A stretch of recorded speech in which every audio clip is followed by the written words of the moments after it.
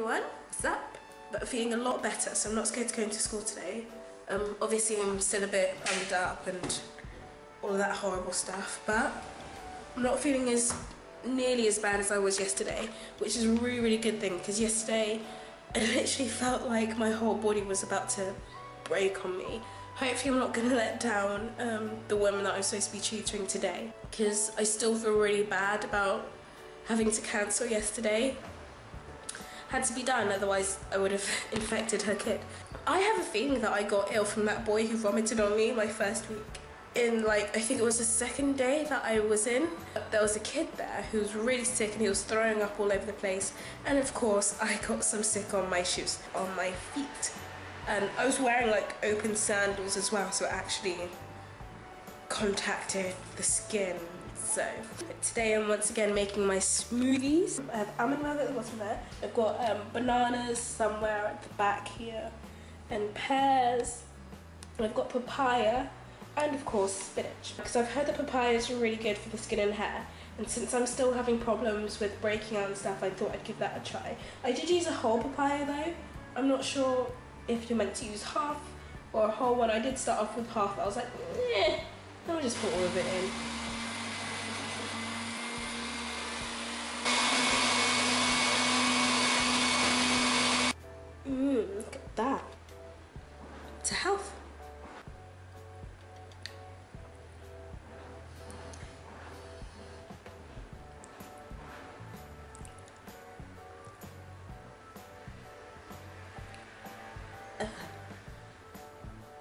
I'm not sure what it is. I don't know if it's the almond milk or the papaya, but something in there does not taste right. I have a feeling it's the papaya just because I tasted it before I put it in there and it wasn't too keen. But waste not, want not. I made this and good lord, I'm gonna finish it. So I've got my smoothie inside here and I'm giving it like an actual try. It's not, it's not that bad. It's just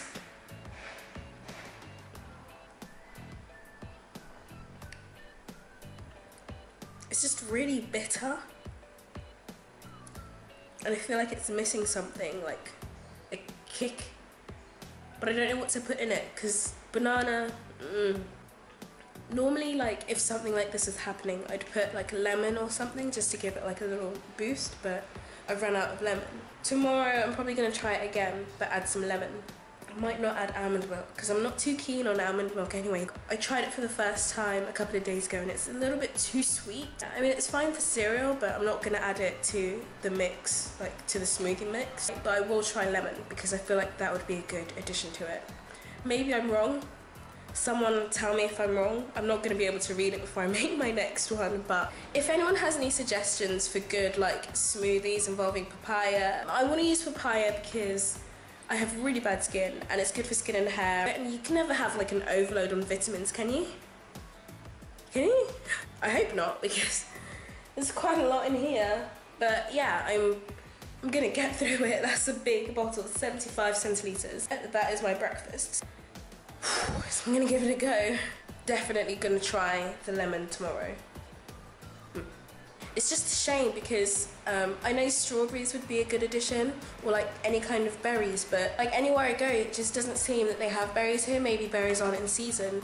Yeah, it's a shame, but I'm gonna have to go with the times, pick what's fresh, because that's the best really, so yeah.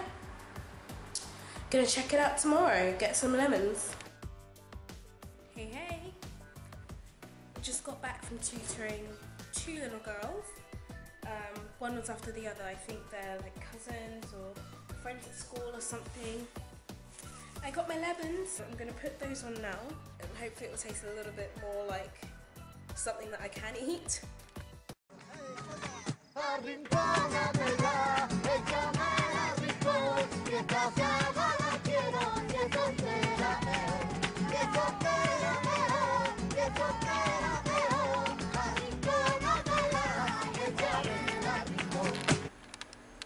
Put it in the freezer.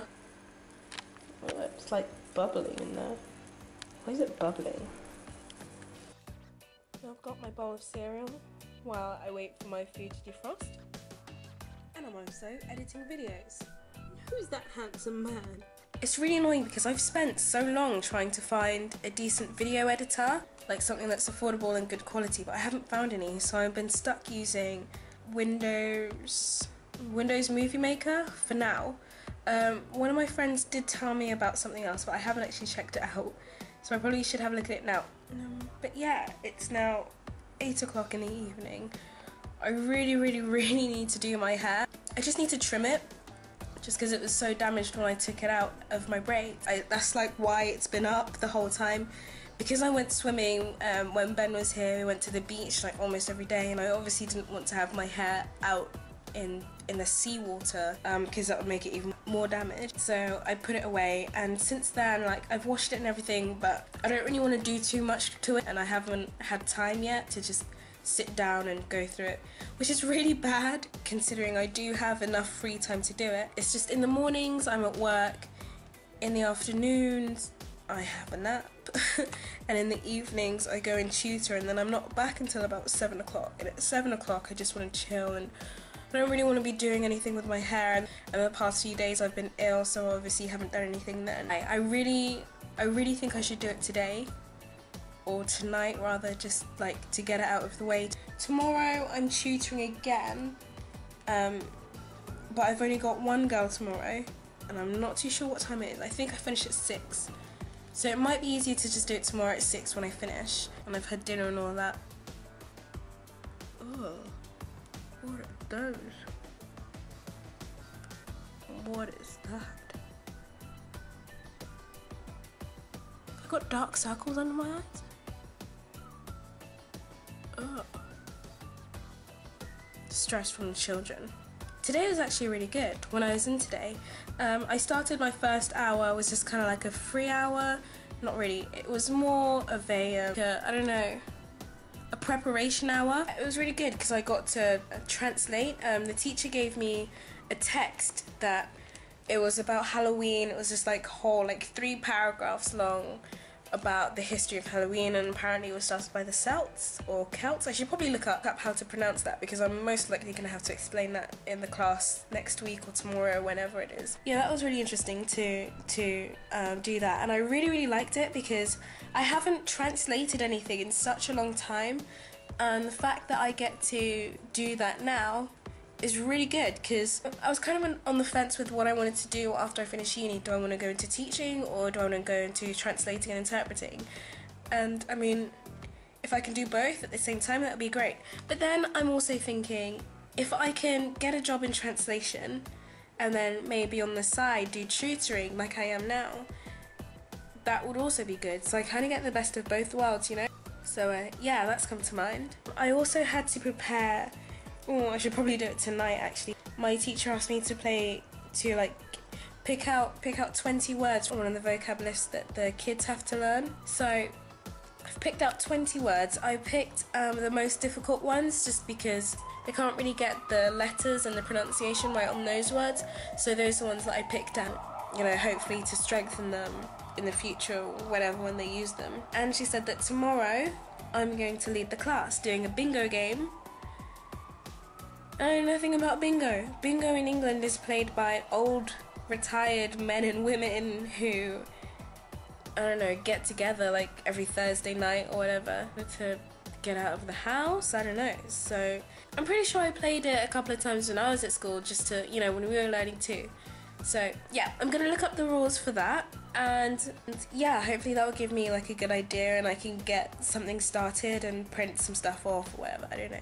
I've started to get talking to a lot of the teachers now, which is really good because like the teachers are so friendly at my school. They're so nice and they're so supportive of me. They're always like oh if you need anything just let me know and i'll help you out. I'm like yeah yeah thanks. It's really nice. And they're always willing to talk like I mean like in the staff rooms they always talk to each other but then they always involve me in their in their um, conversations. See I'm starting to lose my English a little bit because I'm speaking all the time in Spanish because my flatmate is Spanish the teachers are Spanish the kids are Spanish everyone that I'm tutoring is Spanish. I've made loads of Mexican friends who speak Spanish. So yeah. Which is good like it's good because I'm actually surrounding myself in Spanish which is what I wanted to do when I came here. So I'm happy.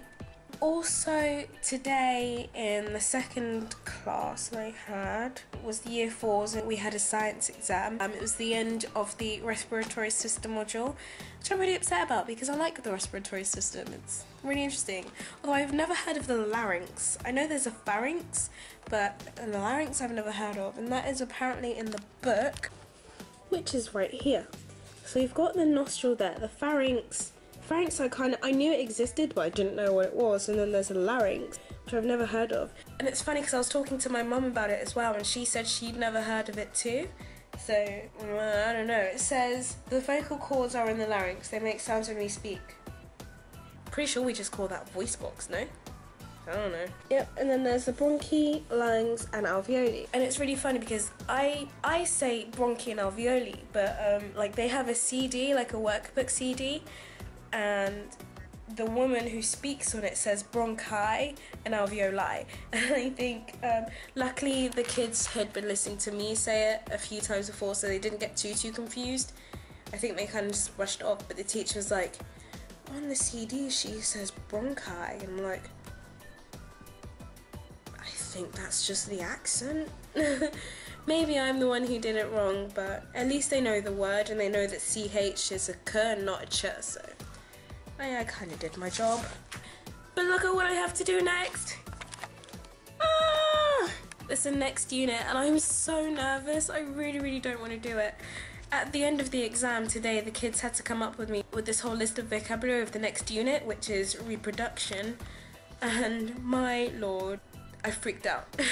they had to say things like the way the body changes and like most of these kids aren't anywhere near puberty. So why do I have to teach them this now? And I'm the most, the most awkward person to have to teach them this. And it's like the male reproductive system, the female reproductive system, ovaries, ovum, fallopian tubes, vagina.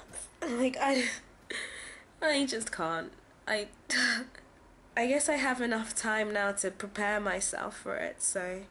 My lord, I'm dreading it. And the weird thing is, when the kids were reading out the list and they got to words like penis and testicles,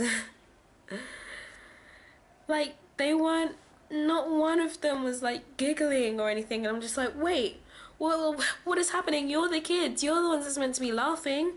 But they weren't. That kind of made me feel bad. Made me feel worse. Made me feel like I was ridiculously immature. Which I am. Yeah, I'm not gonna lie, I am, but God, it just made it so much harder. So, yeah, now I have to look forward to teaching them, teaching eight year old kids who are apparently more mature than I am.